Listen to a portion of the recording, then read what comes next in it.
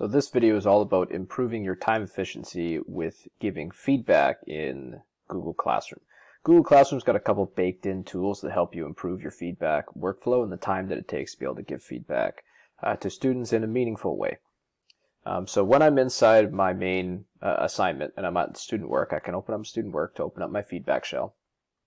And in here I'm open up with my file screen first, where I can quickly assign a grade for where my student is at if I have a rubric, I can also quickly assign whether they have 0 points, 1 points, or 2 points on that, and they can see what each criteria is if I've forgotten what my specific criteria is.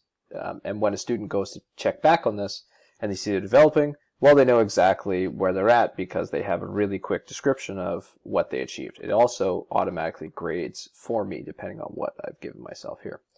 Um, I can insert private comments down here.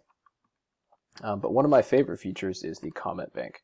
And what's great about the comment bank is it allows you to add your own comments that you reuse consistently and these save between classrooms for your teacher account. So I can add some comments to the bank, something like this needs to be a full sentence and I love your explanation We'll add those two different comments and you'll see they've just been added my comment bank.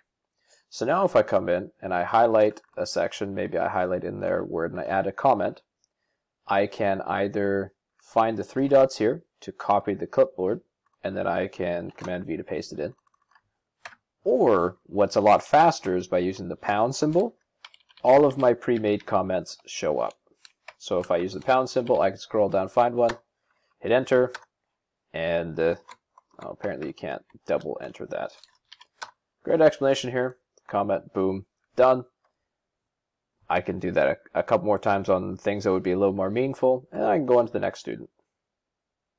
I can find something again. Maybe I like what you've done here. Maybe this needs to be a full sentence. Add in a comment. Start with my pound. This needs to be a full sentence. Comment. And now I'm giving a lot more efficient, a lot quicker feedback and time.